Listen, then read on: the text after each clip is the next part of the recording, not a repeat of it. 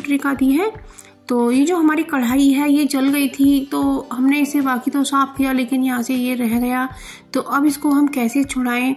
तो इसके लिए हम इसमें थोड़ा सा कोलगेट लगाएँगे और कोलगेट जो होता है, वो बहुत ही अच्छे क्लीनर का काम करता है। तो और कोलगेट से इसे साफ़ करके दिखाएँगे, ये बहुत ही अच्छा साफ़ करेगा।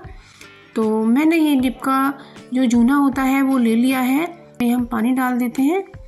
और पानी डालने के बाद इसके ऊपर से इसे अच्छे से हम रगड़ेंगे और इस तरह से मसल मसल कर हमारी कढ़ाई बिल्कुल क्लीन हो जाएगी।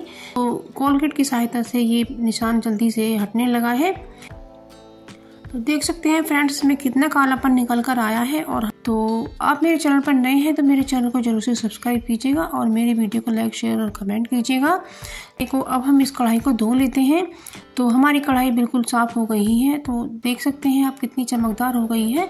तो आप भी अपनी कढ़ाई को इस तरह ये जो हमारे नॉन स्टिक का तवा होता है ना तो इसके नीचे जो ये चिकनाई जम जाती है, ये छुटकर नहीं देती है। तो इसको हम क्या करते हैं, साफ़ करने के लिए तो आप वीडियो में देख सकते हैं। तो इस पर लगाएँगे हम थोड़ा सा हारपिक और हारपिक की मदद से हम इसे छुड़ाएँगे और हमारा तवा बिल्कुल से साफ़ सुथरा हो जाएगा। तो इस पर हारपिक को लगा देना है और हारपिक को लगा देने के बाद इसे हमें एक दो मिनट के लिए छोड़ देना है और उसके बाद इसे हम या तो आप बेकार पड़ा हुआ टूथब्रश लें या फिर इस तरह से स्क्रबर लें और इस तरह से मसल मसल करके इसे साफ़ कर दें तो ये जो इसकी ये चिकनाई जम जाती है ना तो ये सारी ही उखड़ कर साफ़ हो जाएगी। तो आप अपने तवे को इसी तरह से साफ़ कीजिएगा, ये बहुत ही यूज़फुल ट्रिक है। तो आप इसे ज़रूर से फॉलो कीजिएगा।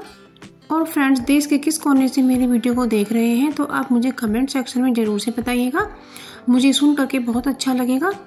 और मेरी वीडियो पसंद आए तो मेरी तो अब ये अगली ट्रिक आती है हमारी, ये जो हमारे डिस्पोजल डब्बे निकलते हैं, जब हम कोई सब्ज़ी वगैरह मंगाते हैं तो उसमें ये डब्बे अक्सर निकल आते हैं तो हमें फेंकना इन्हें बिल्कुल भी नहीं है और इनका यूज़ लेना है तो हमने इसे धोकर साफ़ कर लिया है और सुखा भी लिया है। तो अब जैसे हमारे यहाँ कोई मेहमान वगैरह आते हैं तो हम उन्हें नाश्ता लगाते हैं और नाश्ता वो छोड़ देते हैं तो इस तरह से इन डब्बों में आप अपने नाश्ते को रख सकते हैं। तो हमारे ये जो लड्डू बच गए थे, हमने इसमें रख दिए हैं। तो इसलिए जो डब्बे होते हैं, ये हमारे बहुत यूज़फुल हो सकते हैं। आप इन्हें बिल्कुल भी ना फेंकें। अब ये अगला डब्बा है हमारा। तो ये तो थोड़ा बड़ा है और ये जो आप देख सकते हैं ये माइक्रोवेव सेफ़ है तो आप इन्हें बिल्कुल भी ना फेंकें, आप अपने माइक्रोवेव में इसमें खाना गर्म करने का काम कर सकते हैं और इसमें आप कुछ केक वगैरह भी बना सकते हैं। जैसे छोटा सा केक बनाना होता है, वो इसमें बहुत आसानी से बन जाता है तो आप ये डब्बे भी बिल्कुल ना फेंकें। और ये जो गोल वाले डब्बे इस तरह के निकल आते हैं तो इन्हें भी ना फेंकें और इसमें हम अपने भगवान जी के कपड़ों को सेव करके रखेंगे।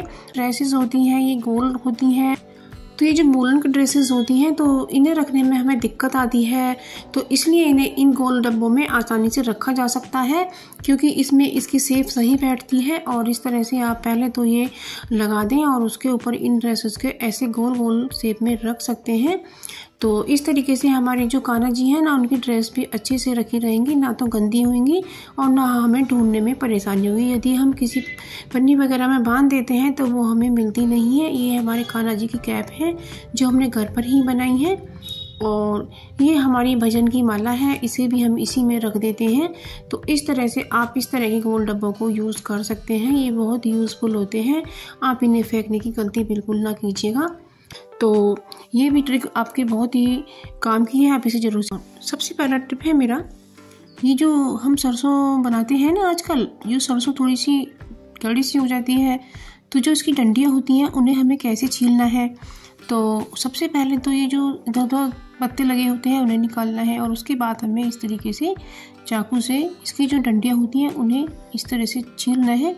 और जैसा कि आप वीडियो में देख सकते हैं तो इससे क्या होगा फ्रेंड्स कि जब हम साग को बनाएँगे ना तो हमारे मुँह में इसके जो तार है ना, ये बिल्कुल भी नहीं आएँगे। तो इस तरह से हमें सरसों को छीलना है। और उसके बाद आप देखेंगे फ्रेंड्स बिल्कुल सॉफ्ट सरसों अंदर से निकली है। और हमें इन्हें थोड़ा सा मोटा इसलिए काट रहे हैं क्योंकि क्योंकि इन्हें उबाल करके मिक्सर में ही पीसना है। इस तरह से थोड़ा मोटा मोटा भी इसे काट सकते हैं, लेकिन हाँ तिनके ना आए। तो इसलिए हमें सरसों के जो गांडल होती हैं, इन्हें छील कर बनाना है। तो इस तरह से हमारा साग जल्दी से तैयार हो जाएगा और बहुत ही सफ़ाई से बनेगा। तो आप फ्रेंड्स ये ज़रूर से फॉलो कीजिएगा।